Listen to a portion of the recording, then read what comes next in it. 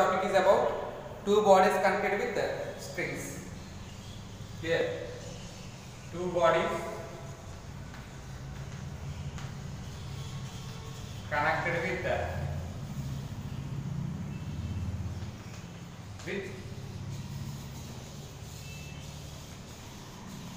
strings.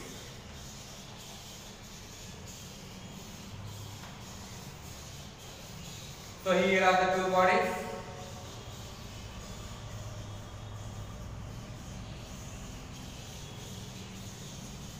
M1, M2. Okay, M1 and M2. So let's check the two cases.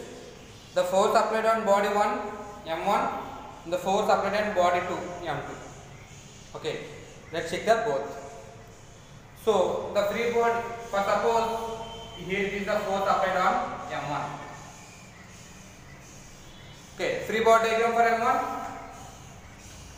FBD for M1. M1. Since the force is applied on M1, the acceleration is also towards uh, M1 and towards F. Okay. So it is the applied force. So here you can write net force F. Only applied force is acting. So force is equal to M1 into A. Force is equal to M1 into A.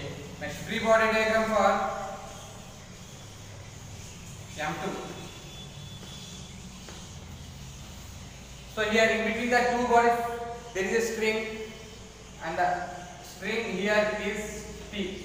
Let's mark it as a T. Okay. So in both the directions, in any direction, only one common thing that is tension force that is T. So free body diagram for M2 is It is the tension force and it is in this direction the applied force. It is the applied force. So F minus tension force is equal to it is M2 and it is acceleration. M2 A. T is equal to F minus M2 A. T is equal to F2 minus F minus M2 A. Here, remember, F minus T, greater force minus small force is equal to M2A. It is the net force.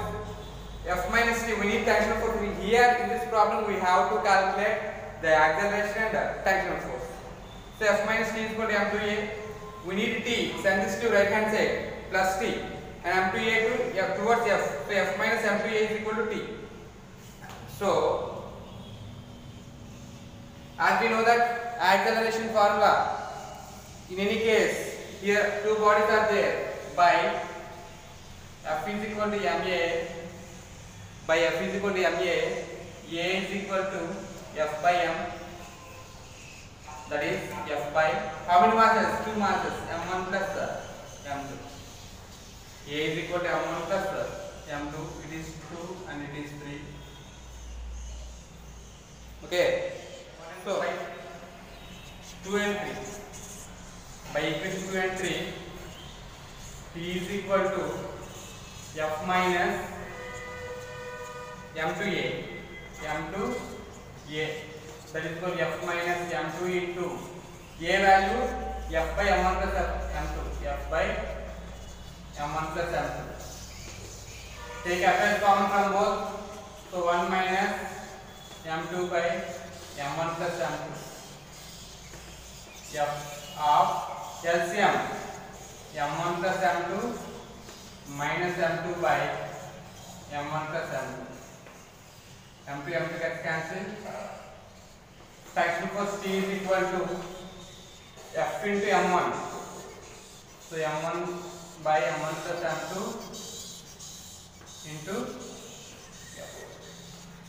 that is the text four so from this two bodies complete this we have to calculate the acceleration and text four acceleration and text four we also we can get the acceleration by adding 1 and 2 equations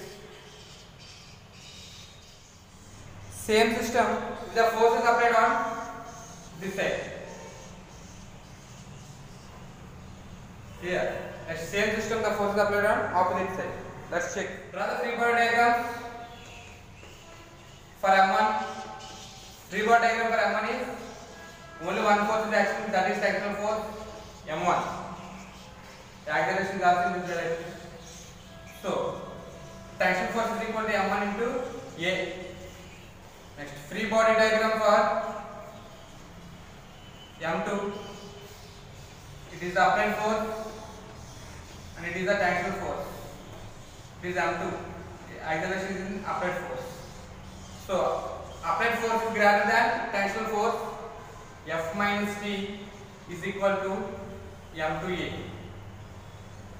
As we already know that A is equal to, since we know that, we know that A is equal to F by M1 plus M2. Mark it as 3, 2 and 1. So already we know the A value. A is equal to F by M1 plus M2. Okay. Now, find out tension force from equations 2 by 2 and 3. 2 can be written as F minus T is equal to M2A. T is equal to F minus M2A. Okay. So this equation substitute value of A. Substitute value of A in this equation. So T is equal to F minus M2 into A value F by M1 plus M2.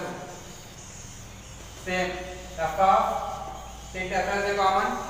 So F of one minus M two by M one plus M two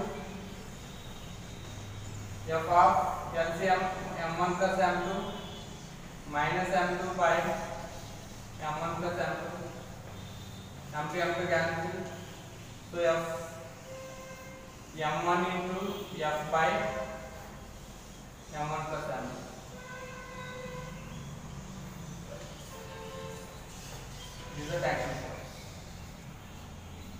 So in the previous case, we got if the force is acting on M1 side, the tension force is M2F by M1 plus M2. If the force is acting on M2 side, the tension force is M1F by M1 plus M2. Clear?